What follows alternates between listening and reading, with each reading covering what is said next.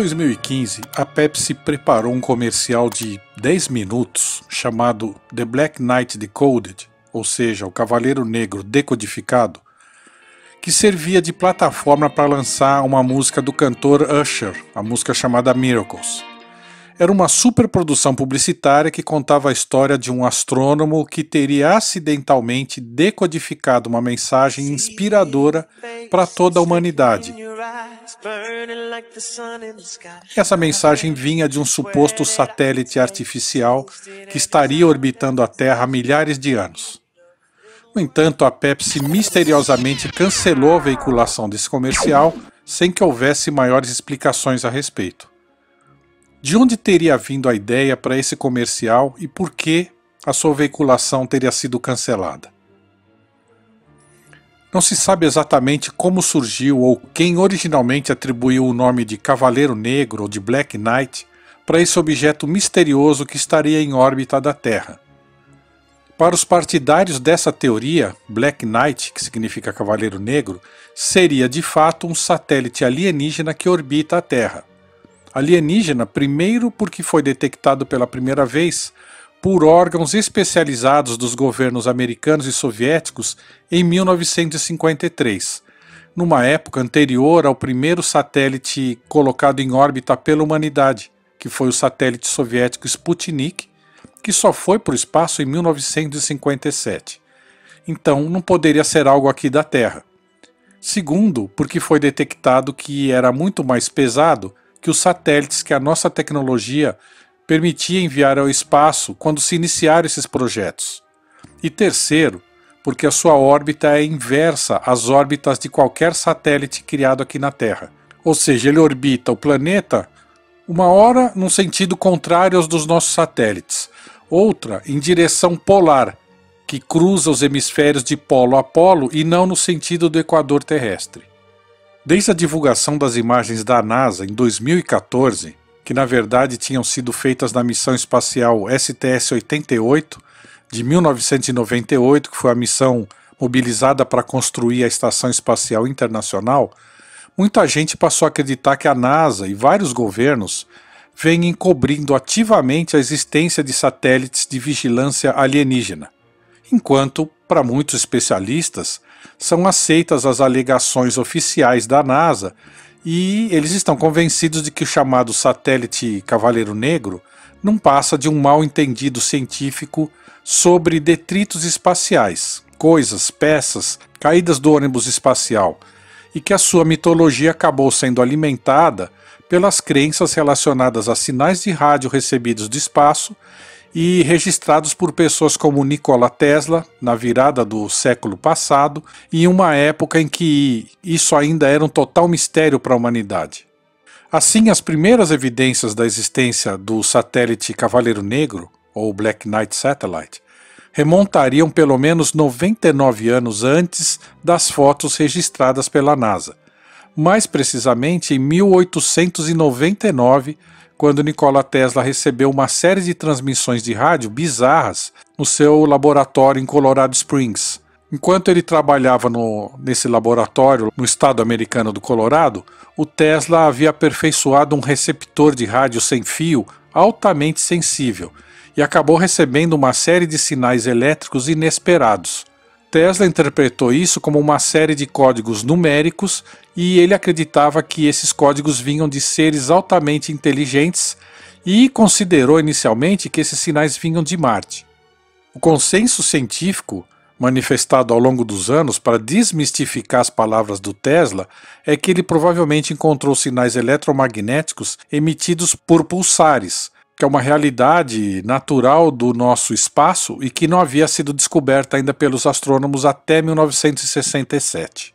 Para os partidários da teoria sobre o Black Knight Satellite, o Tesla estava enganado ao acreditar que esses sinais vinham de Marte, mas na verdade os sinais que ele captou seriam um indício de que, pela primeira vez, alguém na Terra dispunha da necessária tecnologia mínima para captar sinais do satélite alienígena que orbitava o nosso planeta.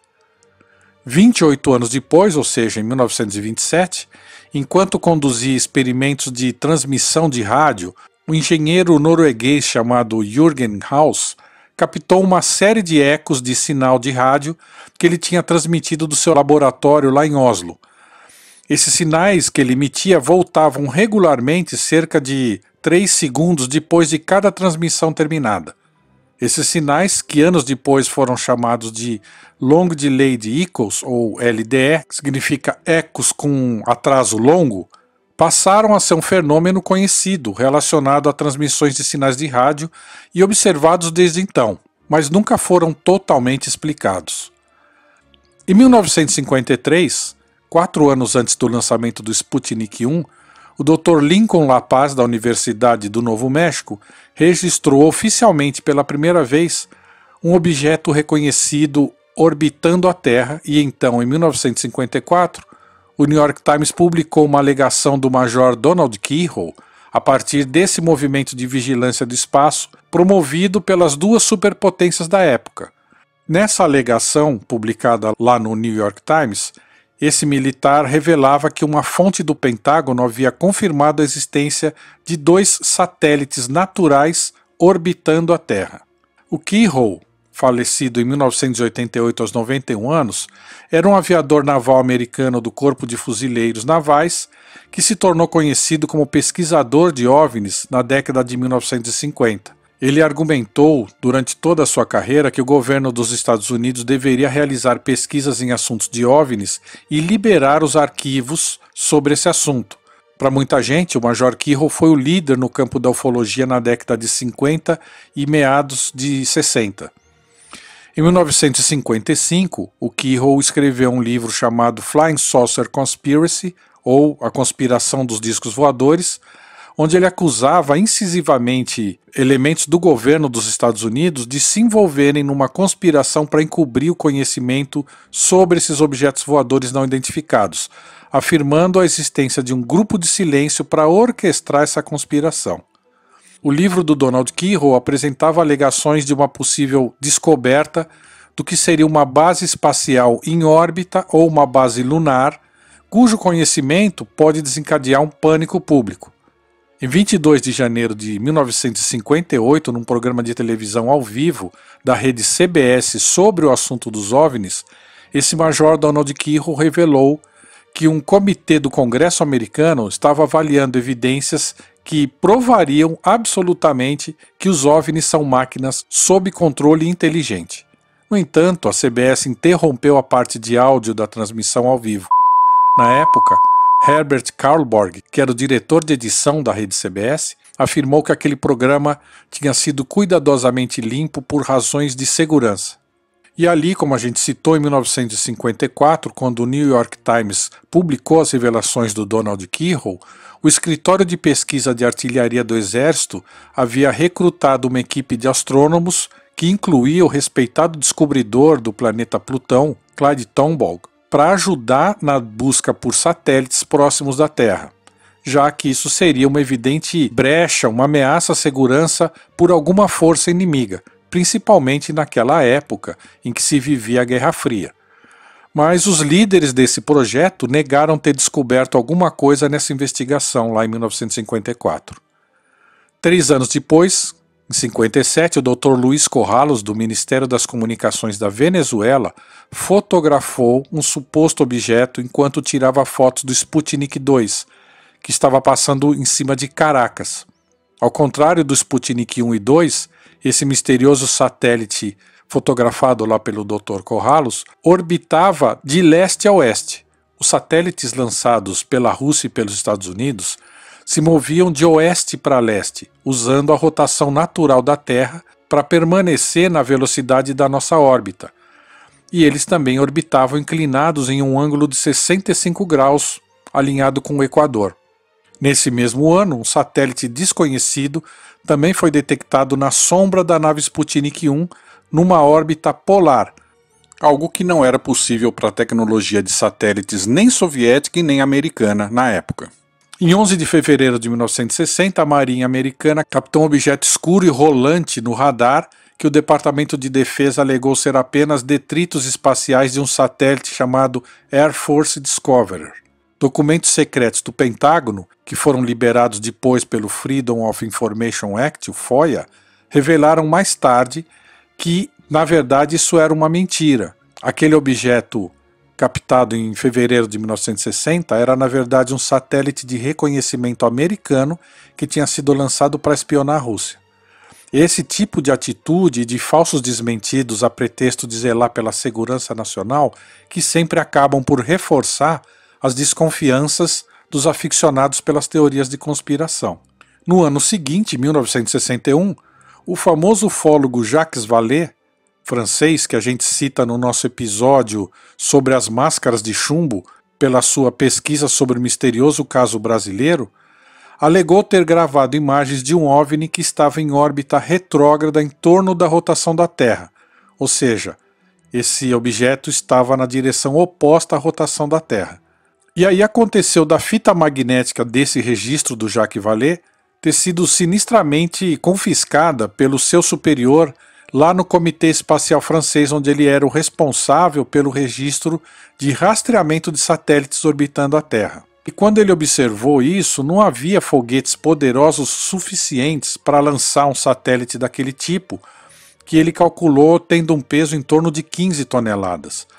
E a, a equipe com, que trabalhava com ele ficou bastante empolgada, imaginando que a gravidade da Terra então teria capturado um satélite natural, um tipo de asteroide. Mas depois ele percebeu que não era. O confisco e o apagamento desse registro feito pelo Jacques Vallée pela cúpula do comitê francês, reiterou nele a crença de haver uma influência negativa e suspeita da NASA nessas relações de acobertamento com entidades de pesquisa internacionais. E contribuíram então para que ele tivesse um interesse já desde aquela época no fenômeno OVNI. Mais tarde, o Vallée descobriu que outros observatórios haviam registrado exatamente aquele mesmo fenômeno e que de fato as estações de rastreamento americanas também teriam fotografado essa mesma coisa, mas não conseguiam identificá-la. Era um objeto de primeira magnitude, ou seja, era tão brilhante quanto a estrela Sirius, que é classificada como o astro de maior brilho no nosso céu, seguido justamente por uma estrela chamada Arcturus, que é a estrela mais brilhante da constelação de Bootes ou constelação do Pastor. Segundo Jacques Vallée, não há como deixar de rastrear um objeto desses, que porém não reapareceu nas semanas seguintes. Para ele, o fato da destruição do seu registro era mais importante do que o registro em si. Haveria então coisas que os cientistas estão observando e não falam? O Jacques Vallée contatou uma pequena rede de cientistas que ainda está ativa e descobriu que havia muitos dados que nunca foram publicados. Na verdade, ele percebeu que os melhores dados nunca foram publicados e que registros como o do Nikola Tesla em 1899 e o do Jürgen Haus lá na década de 20 seriam apenas os dois que ficaram conhecidos. E então, em 1973, a revista Spaceflight publicou pela primeira vez o artigo de um astrônomo e escritor escocês chamado Duncan Luna, que em janeiro de 74 também foi publicado na revista especializada chamada Analog, onde era apresentada uma teoria baseada nos estudos publicados em 1960 por um professor de Stanford chamado Ron Bracewell. Nessa teoria, o escocês Duncan Lunan analisava e propunha uma explicação para a origem daqueles sinais de eco de rádio, lá os LDS, que foram registrados pelo pesquisador norueguês Jürgen Haus em 1928. Esse artigo do Duncan Lunan reunia todos os elementos que deram origem à principal teoria sobre a existência do satélite Black Knight, sem citá-lo diretamente. Ele não estava relacionando a sua pesquisa ao satélite Cavaleiro Negro, mas ele identificava e interpretava uma mensagem de rádio que estaria oculta, baseado na análise que ele fez dos estudos do professor de Stanford. O Duncan Luna propunha nesse seu artigo que uma sonda espacial alienígena que orbitava a Terra poderia receber mensagens que poderiam estar sendo enviadas de um planeta que seria o sexto de um sistema solar de sete planetas que orbita uma estrela dupla, conhecida como ISAR ou Epsilon Boots. Ele chegou a essa informação ao supostamente conseguir decifrar os sinais de eco, os LDS, registrados em 1927 e 1928 pelo engenheiro norueguês Jürgen Haus, lá em Oslo. E aí o Duncan Luna organizou cada emissão de eco recebida na época pelo norueguês numa espécie de matriz. Ele fez um quadrante com eixos que marcavam as datas e, e, a ordem em que esses registros de eco dos sinais de rádio foram recebidos, e ele conseguiu, com esse método, estabeleceu uma mensagem que reproduzia a estrutura da constelação do Pastor, ou constelação de Bootes, onde fica a segunda estrela mais brilhante do nosso céu, justamente a Arcturus, também conhecida como Epsilon Bootes, que seria a estrela dupla que serviria de Sol para esse sistema solar de sete planetas. Quando Lunan Duncan chegou a esse desenho da constelação, ele identificou que a posição das estrelas ali correspondiam à posição que elas ocupavam há 13 mil anos antes de Cristo. Então, se esse satélite estava recebendo essas mensagens e transmitindo na forma dos sinais que vinham sendo captados aqui na Terra pelo Tesla ou pelo Jürgen Haus, é, significa que essas mensagens tinham sido emitidas 13 mil anos atrás. Essa história causou um grande alvoroço e foi até noticiada na revista Time e no programa CBS Evening News. Em 1976, o Lunan resolveu refutar essa sua teoria para se desvincular da correlação que se passou a fazer com a mítica em torno da existência do satélite Black Knight. Ele publicou no seu site um artigo onde ele propunha a explicação de evidências contra a sua teoria original sobre os sinais da estrela Epsilon Bootes.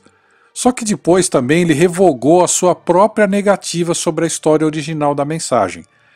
E aí ele registrou e reiterou a sua defesa sobre a sua descoberta bem recentemente agora, em junho de 2022, no documentário sobre o Cavaleiro Negro, dirigido pelo pesquisador, ufólogo e neurocientista Billy Carson no seu canal Forbidden Knowledge. A história de Duncan Luna, em parte, inspirou o romance de 1974 do autor alemão Mark Brandes, chamado Raumsonde Epsilon, ou Space Probe Epsilon, que significa a sonda Epsilon, e também a trilogia Valles, que foi lançada cerca de 10 anos depois, ali na década de 80, pelo famoso escritor Philip K. Dick, que é o autor da obra original que inspirou o filme Blade Runner. Segundo o site do Chandra, que é o Observatório Astronômico por Raio-X da NASA, essa constelação do Pastor, ou Bootes, localizada a cerca de 36 anos-luz da Terra, é uma das constelações mais antigas conhecidas, e ela já era relevante na mitologia de todas as grandes civilizações primordiais, como Grécia, Babilônia, China, Índia, Oriente Médio, e principalmente para a mais antiga de todas, a Suméria. Para os sumérios, justamente o formato antropomórfico dessa constelação do pastor representava o deus Anunnaki chamado Enlil. Nessa constelação de Izar, ou Bootes, ou constelação do pastor, fica a brilhante estrela dupla Arcturus, ou Epsilon Bootes, ao redor da qual estaria o planeta de origem da mensagem decodificada lá pelo Duncan Luna. O Enlil que para os sumérios era representado pela constelação do Pastor, era filho do criador maior chamado Anu. Ele era um Anunnaki considerado o deus que, além de desenvolver a raça humana, trouxe os conhecimentos de agricultura e pastoreio para o homem primordial do nosso planeta. O nome da constelação, Bootes, tem na sua raiz a palavra grega que é utilizada para designar pastor ou lavrador, que está relacionada a quem faz barulho ou clama, para conduzir a sua criação.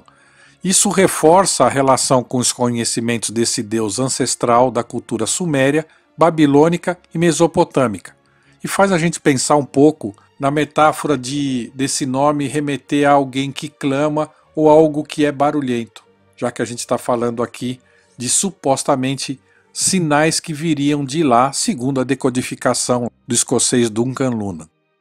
Bom, com toda essa informação, e gravações e transmissões de missões espaciais interceptadas por radioamadores, como a da STS-29 de março de 1989, onde se ouve os tripulantes comentarem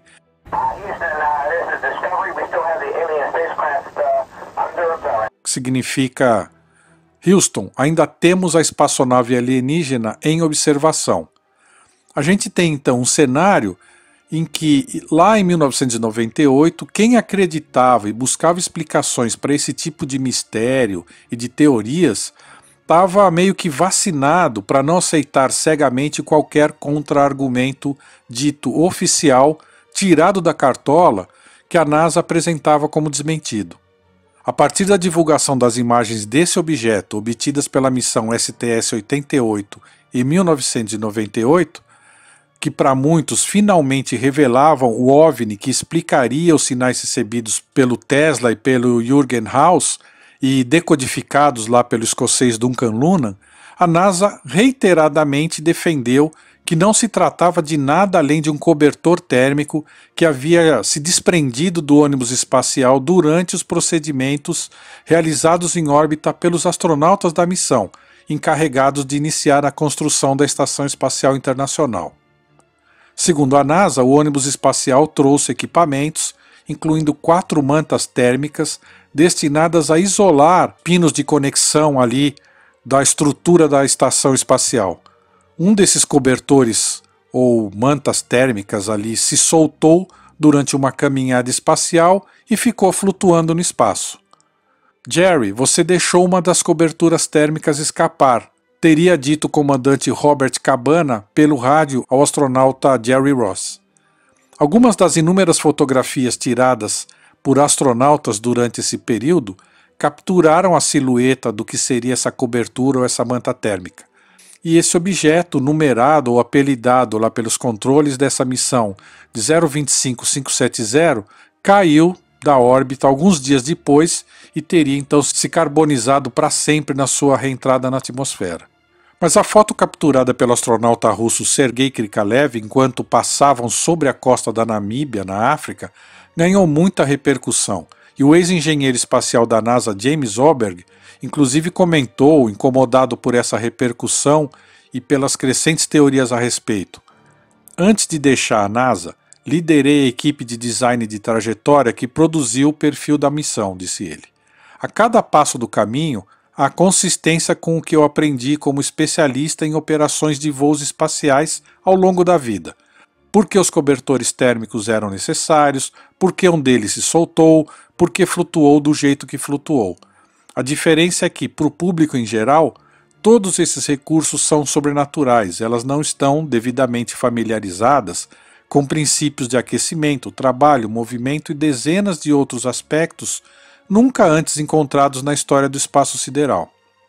Bom, depois da veiculação das fotos da NASA em 2014, que provavelmente inspiraram a superprodução usando a música do Usher para o comercial da Pepsi e que acabou sendo misteriosamente cancelado, teoricamente não se divulgaram mais imagens do Cavaleiro Negro. E todos os esforços, então, são direcionados para desmentir qualquer teoria que insista na origem alienígena desse objeto e que busque relacionar a existência de sinais e códigos inteligíveis que emanariam dele. Não há consenso real sobre o que é ou foi o Black Knight Satellite, e para os teóricos da conspiração, nenhuma explicação pode descartar a sua existência, diante da conexão entre os diversos pontos que a gente citou aqui.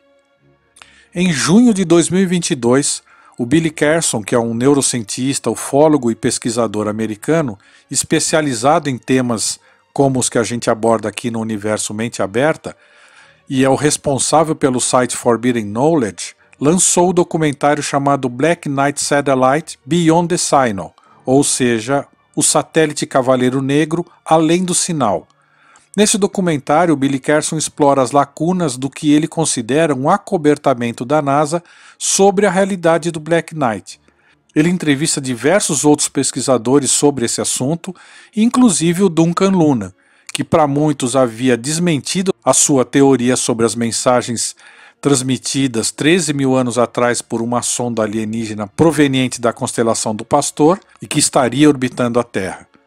Nesse documentário, o Lunan retomou as explicações das suas análises sobre os sinais de eco de rádio que ele buscou interpretar e que lhe deram notoriedade lá em 1973 e que acabaram sendo usadas por outras pessoas para alimentar a teoria sobre o satélite Cavaleiro Negro.